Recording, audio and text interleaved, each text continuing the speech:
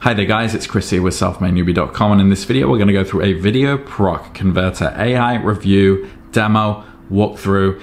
If you are looking to upscale your images or video using AI or stabilize them or convert them, Video Proc is going to do all that for you with basically the push of a button. So we're going to jump into that today. So before we do, drop a like and subscribe and hit the bell to be updated with new videos. All right, as usual, I'm gonna skip the fluff and we're just gonna jump right in so you can see firsthand what to expect from Video Proc Converter AI. Also, stay to the end of the video. I do have a giveaway where you can use Video Proc Converter AI for 90 days for free, but stay to the end and I'll tell you what you need to do. So here I am on their website, videoproc.com. I've left a link in the description there if you want to check it out and see what it's all about. Uh, in this video, we're gonna go into it though uh, see the dashboard, see how to do everything. So the first thing you would do is basically download it. This is a standalone app uh, that you can access on Windows or Mac. And this is what you can basically expect uh, as far as the interface goes. Very simple.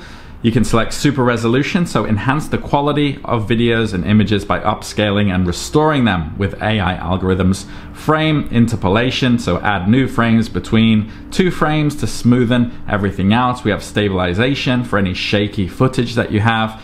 Uh, if you want to get rid of jitters, we can convert video into really any format you want, compress, convert, 4K, 8K videos, everything, and digitize DVDs to MP4, AVI, and uh, other formats as well. And also the downloader, you can download video streams, live videos, playlists, channels, music from YouTube, Facebook, etc. And also a screen recorder as well right inside the platform. So the first thing we're gonna look at is upscaling the video. So this is the interface, very easy to use, drag and drop interface. And you can see straight away side by side that it's already uh, enhanced the resolution. It looks a lot more sharp on the right hand side, I'm sure you can see.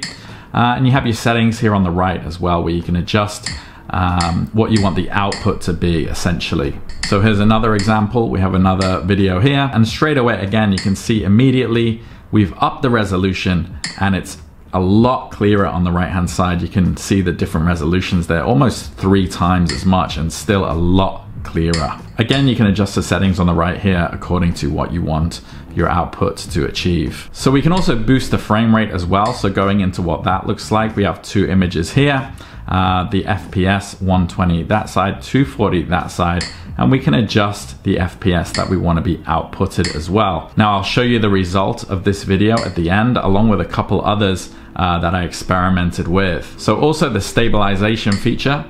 Um, if you've got video that's jittery, like action shots taken with your GoPro or whatnot, um, you can definitely get rid of that as well just by selecting on the side here best stability fastest balance minimum crop. Again at the end of this video I'll show you the videos uh, that I've played around with so you can see the results. Right now we're just going through the interface um, so you can see just how easy it is to use. So once you render it which takes I don't know just about under a minute you can then run it exporting the file and you can see this is very quick.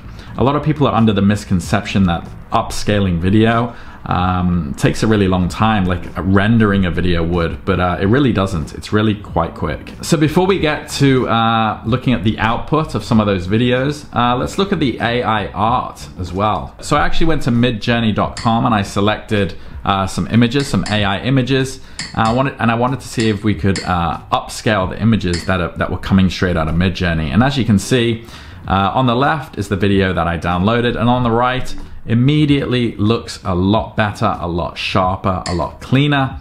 Uh, and again, like the video, you can make your adjustments on the side here to scale and you can see that the AI is not bothered about what scale you want to enhance it to. It just looks a lot sharper on the right. Here's another example here uh, with a more um, digital sort of computerized image. So we have this Mona Lisa and immediately you can see the difference. No matter what we scale it up to, the AI is able to handle it and maintain that better resolution uh, in the image. So let's look at this second image here, which is the more uh, sort of computer animation style.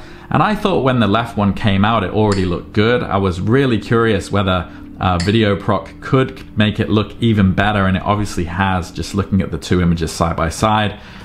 That's already good quality, so I was very shocked with this one to see that it can even make digital footage or like game style footage uh, look even better with a higher resolution as well. This was another one which I was very curious about just because of the detail of this image, um, or both of these images. First, we have this ship here. So very high detail. This came out of Midjourney as well. And even looking at the original image, I thought, no way, this is already as good as it can be. But you can see straight away, no matter what we scale it up to, uh, it's just a lot cleaner on the right hand side. The resolution almost four, five times uh, as much and still a lot sharper. We also have this one. So this is a more humanistic kind of image. Um, it looked really good in the original. And again, VideoProc just makes it look even better. The resolution on the left, 640 by 395, turned up to 2560 by 1580 and looking way, way sharper still. So here's another one, a an upscale uh, reality image uh, to 8K. So this one, again, already looked really good, really clear in my opinion uh, 5456 by 3632 resolution, but we can enhance it even more. I mean, straight away you can see the difference. A lot sharper, a lot cleaner. So this is a final one, again, uh, with the pandas. So we'll import this JPEG. Initially just a 2x, so 1280 by 858 by 2560 by 1716. And again, you can see uh, clear as day, uh, the right one double the resolution basically and still maintaining a lot more crispness a lot more sharpness. So the final part of the platform is the video converter that I want to show you really quickly. So again, just a case of dragging and dropping uh, whatever you want to convert. You can add effects, watermarks, cut and crop it, rotate it. So you can do some editing as well. Adjust the quality, the codec, frame rate, resolution, um, and also the uh, aspect ratio. If you want to cut the video, if you want a certain selection, very, very easy to do. Uh, you can just adjust that very accurately.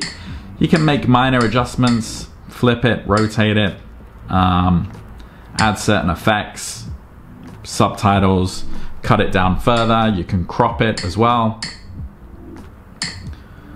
So if you don't want the entire image, you can very easily just crop it there.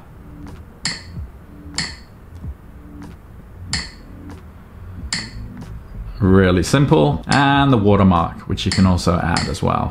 Also the target format you can select, so whatever you're outputting to, there's just every option really that you're gonna need. Uh, you can extract the audio from the video, of course.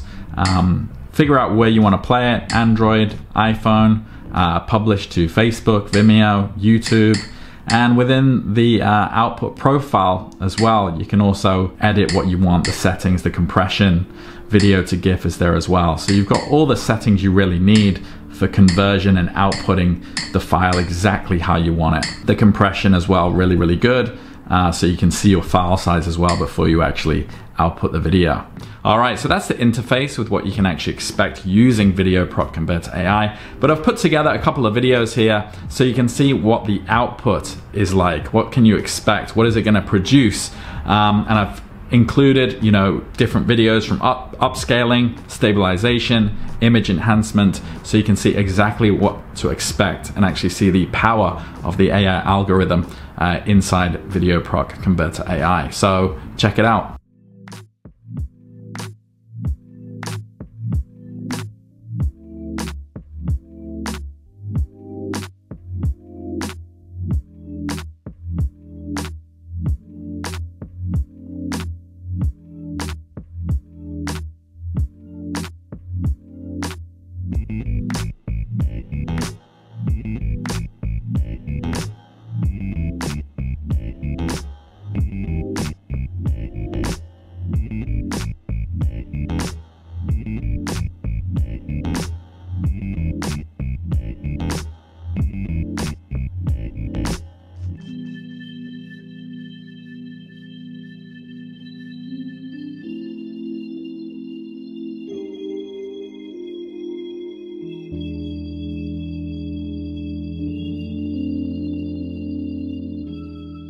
All right, so I hope you found value in this video. Now, if you wanna try VideoProc Converter AI, I have three 90-day free usage discount codes. Just leave a comment, send me an email at chris at selfmadenewbie.com, and it's really first in, first serve. Once you send me the email, I'll send you one of those codes. You can input it into uh, VideoProc Converter AI and use it totally free, no strings attached for 90 days. Now, if you don't get in, if you're not one of those first three, you can still go to the website there and uh, try the free trial and use it as well. It just won't be for 90 days, but you'll still be able to uh, make good use of it and have a good go yourself. Okay, so that's all guys. If you have any questions about VideoProc Converter AI, drop them down in the comments below. And if you found value in this video, it really helps if you drop a like and subscribe, and I'll see you on the next one. Take care.